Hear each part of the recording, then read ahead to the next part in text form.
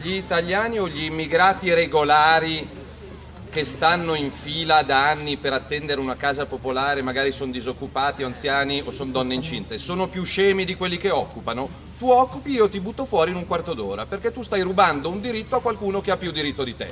Punto a capo. E non voglio i centri sociali, i sindacati, i buonisti di sinistra che dicono poverini. No, perché se tu.